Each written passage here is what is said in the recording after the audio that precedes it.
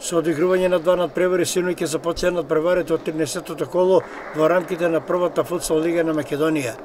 Во Кавадарци, по голема борба, играчите на Јувентус Серава како гости победи екипата на Црна река со резултат 9 спрема 7.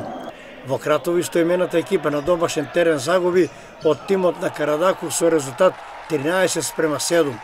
Денес сабота на програмата се следите на превари. Проект Цико Железарец и Велес Арбен Байрами. Во недела 21 февруари ќе се комплетира ова 13-то коло со последните два надпревари. Кеги Моби Малаекс и Јастиво Шкупи. Надпреварото Стиво Шкупи ќе се одигра во спортската сала Тоша Арсов со почеток во 19 часот без присуство на публика.